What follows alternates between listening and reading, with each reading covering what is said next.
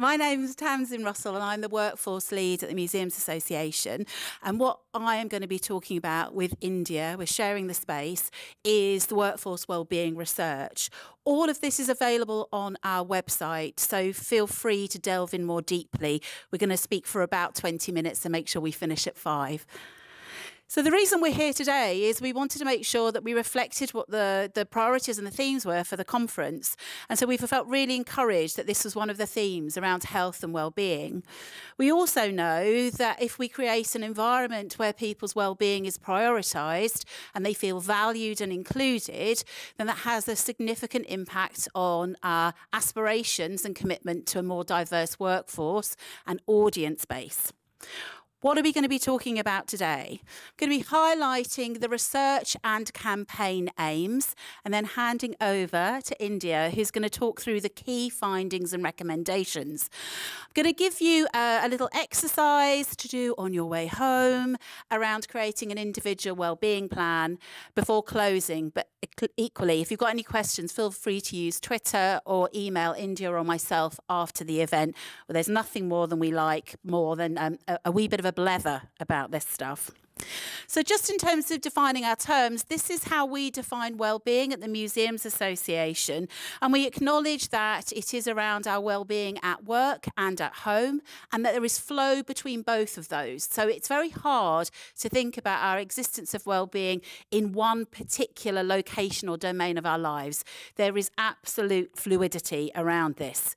We also are really clear that for an organisation to be seen as being functional, it should aspire to have and be committed to a healthy workforce in terms of both psychological and physical well-being. Yet we see most often in our sector the prioritisation of physical well-being how many people have gone on manual handling training, how many have got COSHH assessments, but perhaps less so on emotional or psychological well-being. So one of our really important campaign areas, which is around fair work, inclusivity, well-being, and positive fair working conditions. And if any of that gets you excited, feel free to visit our website because we do have uh, dedicated campaign pages and resources around all of these areas and are always looking for additional areas to explore. So just in the same way that Matt said, if there's not a network that meets your needs, create one. If there's an area of work or research into workforce experience or more broadly anything to do workforce, then please let us know. We may not be able to do it today, but we can factor it in for our future plans.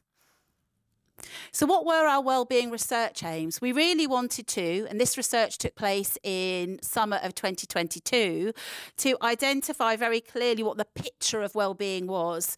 This came as a result of us coming out of the pandemic where there was a huge focus on wellbeing and we wanted to do a snapshot just to see where everybody was. We also wanted to highlight the factors that were important.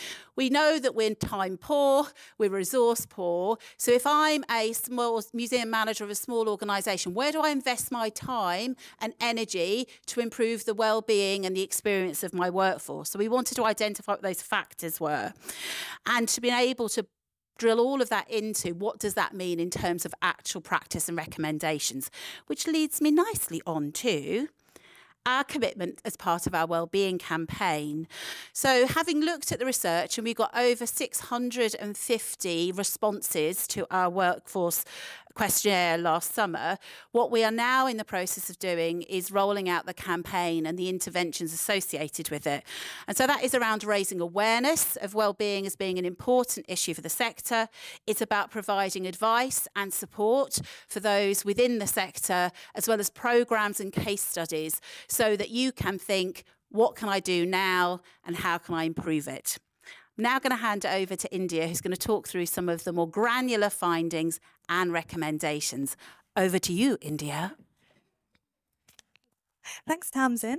Um, so you can, uh, like Tamsin said, you can find all of the key findings and recommendations from our wellbeing research on the Museums Association website. So I'm not going to uh, tell you all of them in full today. I'll just go through some highlights um, uh, and that'll help with the timing, I think, as well.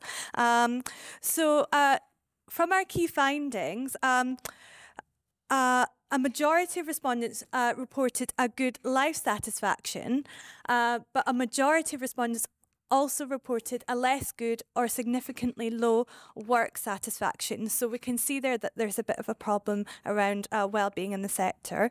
Um, the key factors affecting uh, well-being at work um, related to excessive uh, demands, uh, not feeling recognised, and not feeling valued.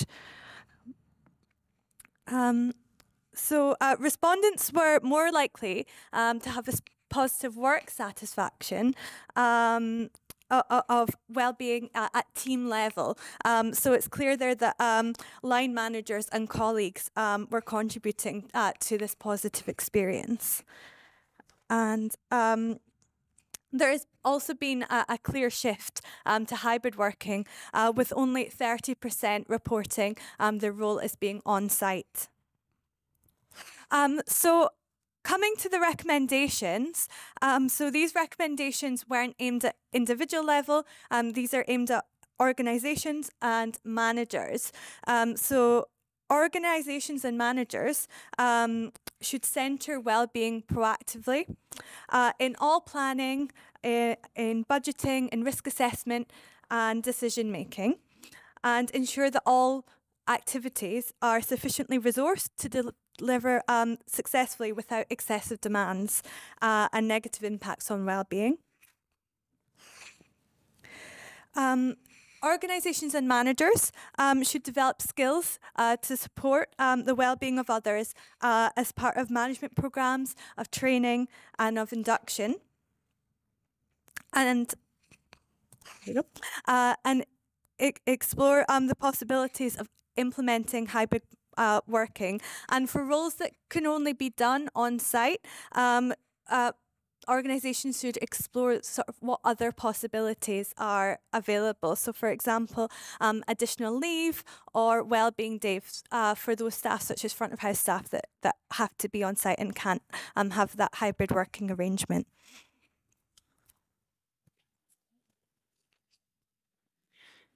Thank you, India. Can everyone still hear me? Yeah, wonderful. Good job. So those recommendations were centred generically across uh, all different areas of, of museum practice and can easily be used as a, a quick checklist or audit within your own team or organisations. Um, as India has said, the recommendations were centred at an organisational level rather than an individual level. And there was a particular reason for that, is too often we feel that organisations level the responsibility for changing well-being at the individual's door. So it's not that we're giving you too much work, it's just you're not very good at time management. It's not that you're really tired, it's just because you're doing too th many things outside of work. It's nothing to do with us. So we didn't want to centre the responsibility for addressing addressing uh, workforce wellbeing at the individual's door. However, there is some utility in for your own approach, thinking around what you can do for yourself and to get that thought process and those ideas down on paper.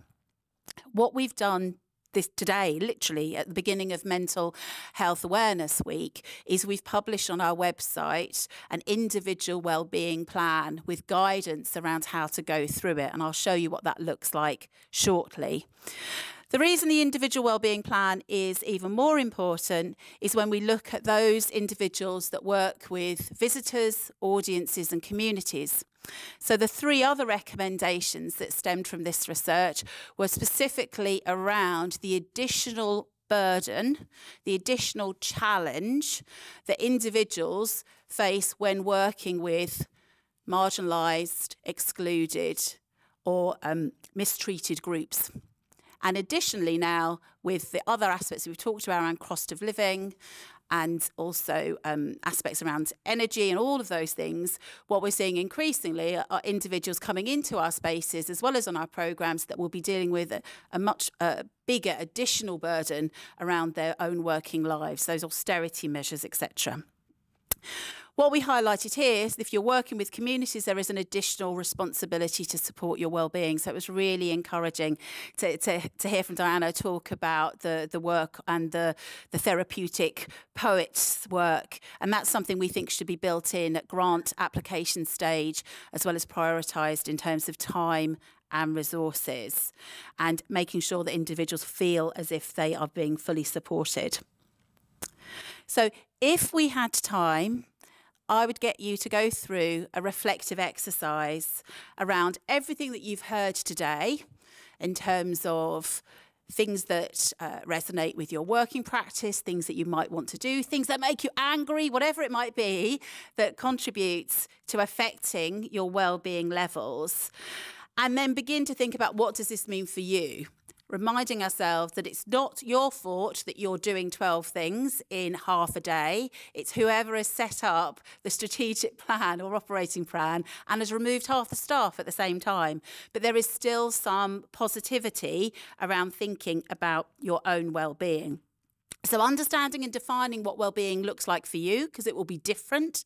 This is not a homogeneous approach. Everyone's sense of well-being is around your needs and wishes. So, I worked yesterday afternoon for a couple of hours. Should I be working at the weekend? No, I shouldn't. Did it help me not have a hideous day this morning? Yes, it did. So, working out what your well-being uh, uh, uh, balance is is important. Um, and reflect on what affects your well-being think about those boundaries, think about those interactions, think about all the things that might have an impact. And we've heard already um, uh, around the factors that affect it. You know, so you might think, is it excessive demands, or is it a problematic culture, or is it the fact that I don't get paid money? All of our factors affecting our well-being will be different. For you to identify and isolate the ones that are most significant for you will enable you to work out what your next course of action is. And in addition to that, understanding the well-being interventions that your organisations may have in place will enable you to seek those out. I always think it's interesting that often when we need our help about well-being or when we need to raise a grievance or um, uh, make a complaint around our organisation, we're often not in the right place to seek that information out. So seek that information out at first rather than when you need it. So my challenge to you will be to reflect on your experience of work, identify what well-being looks like for you, think about the factors that affect your well-being, and go and have a look at our website because it's now live. Very excited. But we have got a very basic one pager that enables you to begin to get your thoughts down on paper. And you don't have to share this with anybody.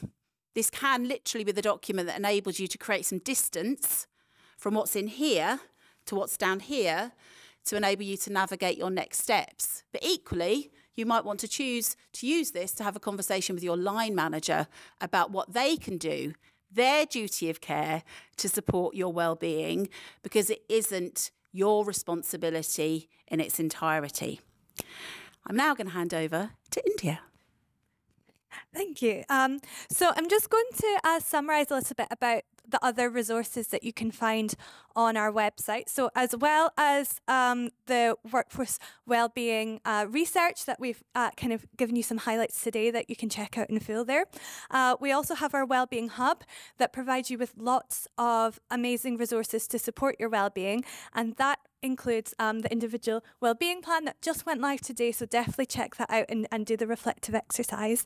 Um, we've also got a redundancy hub that provides um, resources and support um, if you're going through redundancy. And uh, we uh, ran out um, uh, museum conversations on workforce wellbeing, and you can find that as well and rewatch it on our website as well. So that's all under uh, the workforce wellbeing um, section of the website under campaigns. So so definitely check that out. Um, and just to uh, sum up and say thanks very much for listening today. Um, you can find our contact details here if you want to contact us um, with any uh, suggestions of resources you think might be useful or any um, additional questions. Um, but we're also happy to take any questions now.